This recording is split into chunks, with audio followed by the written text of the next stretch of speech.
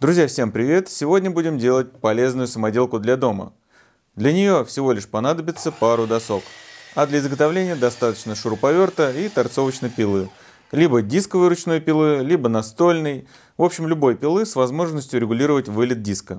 Но если такой нет, то подойдет любой фрезер для выборки пазов.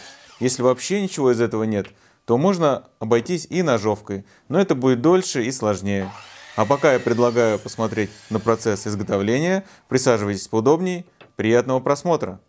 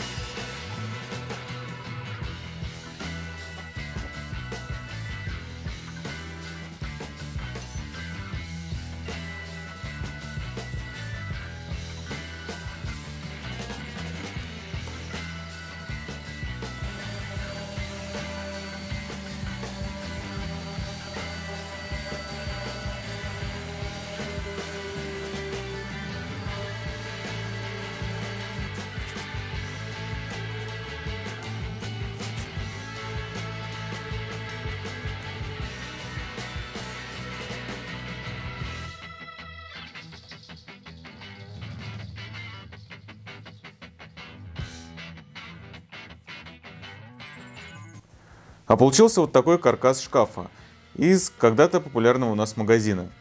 Так уж получилось, что контейнеры для этого шкафчика у нас были. В них мы храним детские игрушки. А вот самого шкафа не было. Сейчас все снова продается, но увидев, сколько он стоит и насколько просто выглядит, я решил сделать сам. В итоге я потратил 500 рублей на доску и 50 рублей на конфирматы. А также часа 3-4 свободного времени.